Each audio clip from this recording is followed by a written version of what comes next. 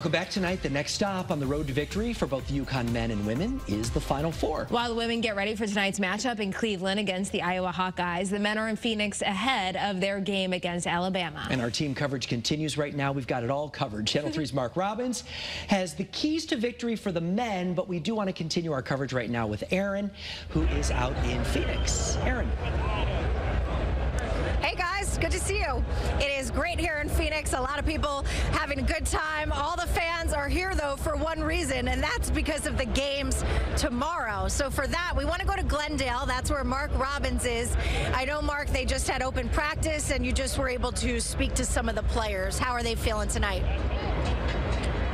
Think very confident in a word, Aaron. And uh, yeah, the, the, Huskies just finished about 15, 20 minutes ago their public workout in front of four or 5,000 fans, getting up a lot of shots. The shooting background in a big football stadium like this can always uh, play with a shooter's mind if they're not right for it. But the pace of this game is what everybody is talking about.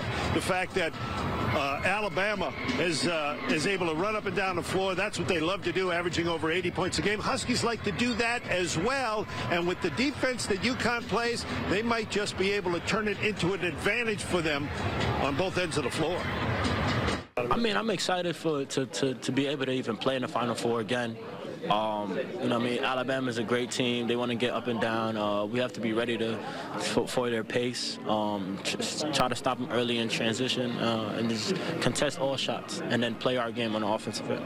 Just, just doing the same thing. You know, we've, we've kind of figured out, like, in a sense, what we want to do in terms of like the opponent, like the opponent, just in terms of how they're going to play us. I think we figured everybody out. So just doing the same thing. Preparation stays in. Can you make them, you know, give them a dose of their own medicine, so to speak, and, and push them a bit? Yeah, definitely. We always try to run on other teams too. If we get stops, we want to run in transition too. So, you know, just because we're playing them doesn't mean we're going to play slower. We want to play at our pace too. It was very interesting the way both teams came onto the floor today for their practices. Alabama came out loose as anything with a big boom box playing as they strutted onto the floor. The Huskies a little bit more methodical, a little more business-like, single file jogging onto the floor here at the State Farm Stadium. We'll see uh, which style prevails in the national semifinal on Saturday night. Reporting live in Glendale, Arizona, I'm Mark Robbins, 3. Aaron, back to you.